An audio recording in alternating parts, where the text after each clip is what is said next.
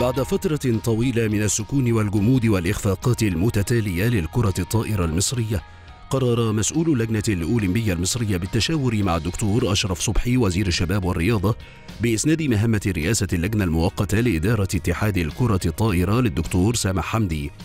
أجمع مسؤول الأولمبية ووزارة الرياضة على نزاهة واحترافية حمدي لقيادة الطائرة المصرية نحو الصعود والتحليق من جديد. لا سيما وأن لديه تاريخ طويل وكبير وحافل بالإنجازات والبطولات.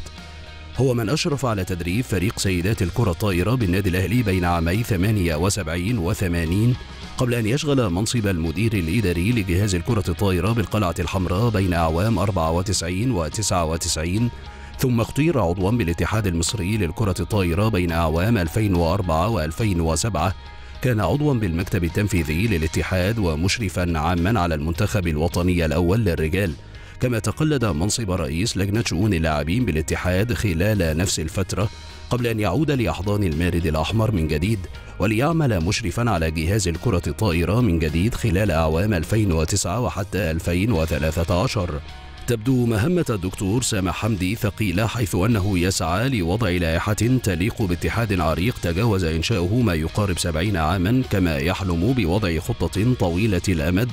لعودة الطائرة المصرية للظهور في المحافل الدولية بالشكل اللائق بعدما فشل منتخبنا في الفوز بأمم إفريقيا لمرتين متتاليتين إضافة إلى عدم الصعود لأولمبياد طوكيو بالرغم من إقامة التصفيات على الأراضي المصرية. تضع أسرة الكرة الطائرة آمالا عريضة على مجلس حمد المؤقت الذي قبل المهمة في وقت حرج وصعب للغاية لكنه يمتلك من الخبرات الإدارية ما يجعله قادرا على تخطي هذه الفترة الحرجة.